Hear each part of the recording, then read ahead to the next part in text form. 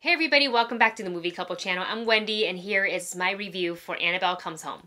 Annabelle Comes Home is directed by Gary Dauberman and stars McKenna Grace, Madison Iseman, Vera Farmiga, and Patrick Wilson.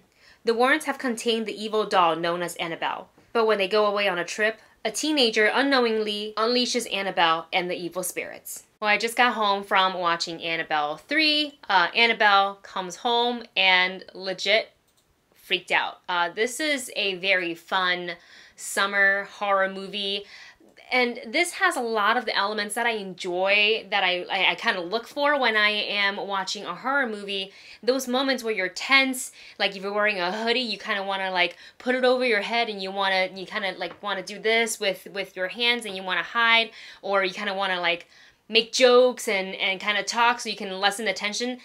That is the word I'm looking for tension. This movie definitely made me feel tense at every turn, on every shot. There are a lot of good scares in this movie. There are some jump scares that are predictable, and I think, uh, you know, once you've seen enough horror movies, you can kind of call them call them as it is so you can see them coming but in this movie and this is what i like so much about like the conjuring franchise and and and all the films that are related to it is they get pretty creative with their uh, jump scares so when you think it's coming it actually doesn't and that's when you're caught off guard and that's when they get you because within the first couple of minutes something happened and i gasped out loud and it wasn't even really that scary and i was like you idiot wendy um, but this was a lot of fun um, it is the third installment in the Annabelle story. I didn't actually see the first Annabelle, but I did see Annabelle Creation, which I liked a lot, and uh, this one, which is the follow up, um, and I like this a lot too.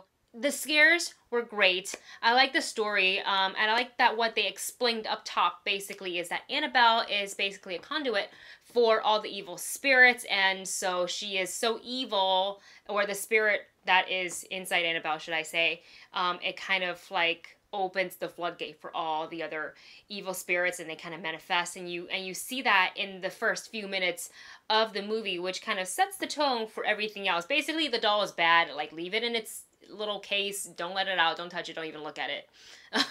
But um, that's what the warrens have in their home in their basement. It's where they lock all of these um, evil items and you'll see little Easter eggs of like from previous Conjuring films if you're a fan of all the Conjuring films.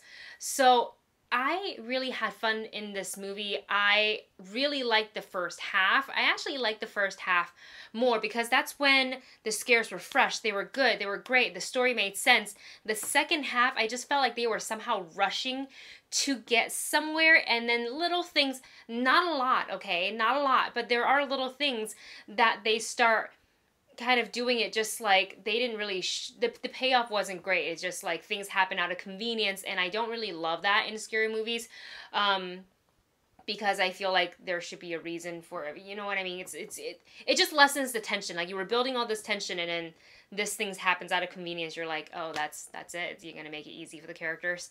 Um I also didn't love that the Warrens weren't really exactly in this movie, but I get it. This is in this isn't exactly like Conjuring. It's not like The Conjuring Annabelle comes home. It's Annabelle comes home. Unless I'm wrong, you can say that in the comment section.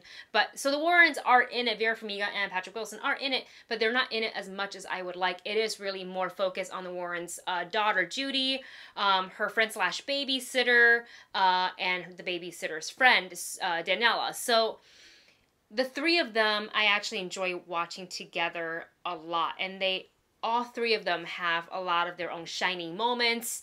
Um, no one really stole from anyone, so I, I enjoyed watching these these three actresses um, come together and be in this movie, and also have their own individual solo experiences with all the horror stuff. I I, I really did enjoy that. Um, another thing was is this movie is called Annabelle Comes Home.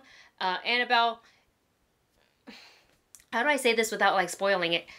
Annabelle is in it, but Annabelle also doesn't do a lot of things. Um, and I guess it goes back to the message they were trying to really give you towards the beginning of the movie is that Annabelle is a conduit for all the evil spirits, and they kind of use that to carry through the film. So while Annabelle's presence is there, it it is less in comparison to other uh, evil entities that are in this movie, which is another thing I really do like about Conjuring. Like we, we can say like the the the second Conjuring movie for you can use that as an example because it, wasn't just uh, like we had the nun, we had the crooked man, and, and, things like that. So it was it's kind of like that, and all of it does make sense once you take a step back and think about it. But I kind of walked in this movie wanting to see Annabelle do the creepy doll thing, like her head kind of, you know, like turns like this, and things like that. But it was really more of like her evil energy and opening the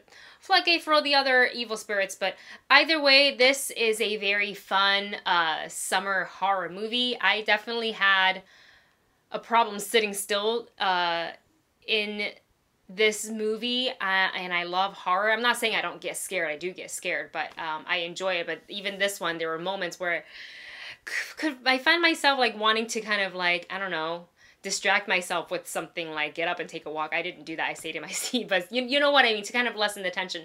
So um, it, it definitely delivered its intention, which was to scare the bejesus out of you, which it did. Um, and it, it seemed like the whole theater enjoyed it very much. So my rating for this movie is check it out. I think, you guys, it's summer, it's horror go with your friends, go on a night, and just go and watch who in your group is going to be the most scared because that's kind of also what's most fun about these movies. And you're going to want to talk about it, you'll think about it. You probably don't want any dolls let, that looks like Annabelle in your house, you know, and that's it. But you guys, that's it for this review. Thank you so much for watching. Don't forget to like, share, subscribe. You can follow me on social media at Wendy Lee Szany. That's on Twitter and on Instagram. And I will see you in the next video. Bye.